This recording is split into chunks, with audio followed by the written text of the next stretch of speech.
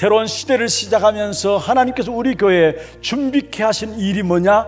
237 시대를 살릴 수 있는 시스템들을 지금 준비케 하고 계시는 거예요. 다시 말하면은 하나님의 절대적인 계획이 어딨냐? 237 살리는 것입니다. 너는 그 땅을 차지하게 하라. 백성들로 말미암아 그 땅을 차지하게 하라. 무슨 말입니까? 복음의 능력으로 정복하게 하고 실제로 복음의 삶을 삶으로 승리하도록 그렇게 가르치라는 거예요. 우리 후대들에게 차세대들에게 반드시 세 가지 나라를 이해하고 알고 누리도록 해야 되는데 그 세 가지 나라는 무엇입니까? 세상 나라고 세상을 장악하고 있는 사단의 나라고 그 세상 나라와 세상을 장악하고 있는 사단의 나라를 한 번에 무너뜨릴 수 있는 하나님의 나라 보좌의 축복 우리 후대들이 이 사실을 알도록 만들어야 합니다. 그래야 복음 운동의 역사를 계속해서 지속해서 개성해 나갈 수 있는 것이고 이 땅에 복음 운동의 능력된 승리의 삶을 우리 후대들이 살아갈 수 있는 것입니다. 237 시대 하나님의 소원이에요. 여러분 정말로 마음에 하나님 가장 기뻐하신 것을 담는 기장 축복된 응답이 오늘 여러분에게 있기를 주의 이름으로 축원합니다. 세상 나라와 사단의 나라를 꺾을 수 있는 하나님 나라의 비밀을 가지고 승리하는 한 주 되셨나요? 237 치유 후대를 위한 교회의 새로운 시스템을 준비하고 있는 이때에 성도님들의 더 많은 관심과 기도 부탁드립니다. 지난주 담임 목사님께서는 4월 4일 월요일 대구노회 봄 정기노회와 4월 9일 하나교회에서 진행된 토요 핵심 훈련에 참석하셨습니다. 하나님이 쓰실 수밖에 없는 새로운 틀과 새 옷을 입고 항상 복음 누리는 기도 속의 한 주 되시길 바랍니다. 4월 둘째 주 하나 뉴스 시작합니다. 처음 나오신 분을 진심으로 환영합니다. 예배 후 새가족실에 방문해 주세요. 오늘 오후 예배는 오후 2시 30분에 본부 2부 예배로 드려집니다. 장로 부부 찬양대 연습이 오후 1시 찬양대실에서 있습니다. 이번 주간은 고난 주간입니다.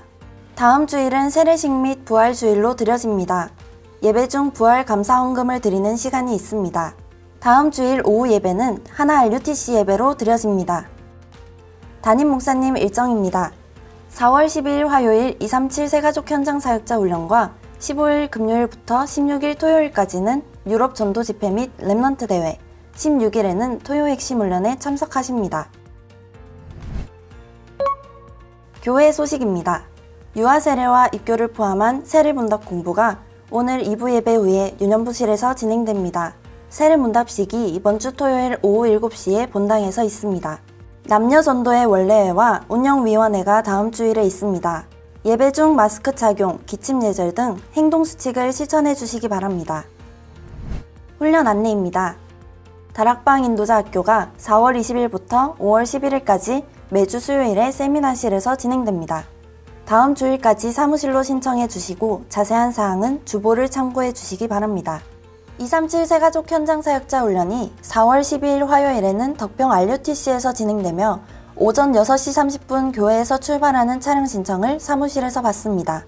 4월 14일 목요일에는 온라인으로 진행되며 훈련비 입금자에 한해 당일 오전 9시 본당에서 시청하실 수 있습니다. 유럽 전도 집회와 Remnant 대회가 각각 4월 15일 금요일과 16일 토요일에 온라인으로 진행됩니다. 유럽 전도 집회 훈련비 입금자에 한해 당일 오후 6시에 본당에서 시청하실 수 있습니다. 토요 핵심 훈련이 4월 16일 토요일 오전 9시에 본당에서 진행됩니다. 237 화요제자 훈련이 4월 26일 화요일 온라인으로 진행됩니다. 4월 20일 수요일까지 온라인 신청 받습니다. 교인 동정입니다. 이대교구 화원구역 손성도 안수집사 박정희 A 권사 장남 손흥상군 결혼식이 4월 16일 토요일 오후 12시에 경산 아트라운 웨딩에서 진행됩니다. 당일 오전 10시 50분 교회에서 출발합니다. 4대 교구 북구구역 박bun기 권사 장남 배은진군 결혼식이 4월 16일 토요일 오전 11시에 아현정에서 진행됩니다. 당일 오전 10시 교회에서 출발합니다. 237 이방인의 뜰 프로젝트 한나라 품기 이번 주는 캐나다 편입니다. 이번 주에 소개해드릴 나라는 캐나다입니다. 캐나다는 세계 최고 선진국 중 하나로 정치, 경제 등 많은 부분에서 안정적인 모습을 보이는 곳입니다. 이민의 나라라고 불릴 만큼 전 세계에서 이민자 비율이 가장 높으며 난민도 많이 받아들이고 있습니다. 또한 러시아 다음으로 큰 영토를 가지고 있어 캐나다 내에서는 다양한 사람들과 그들의 문화가 공존해 있습니다. 전체 인구는 약 3천만여 명이며 이 중 12%가 개신교를 믿고 있습니다.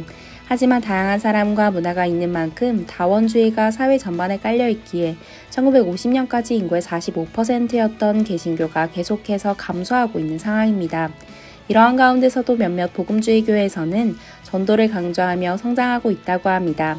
이곳에 정확한 복음이 회복될 수 있도록 이번 주는 캐나다를 위해 기도합시다.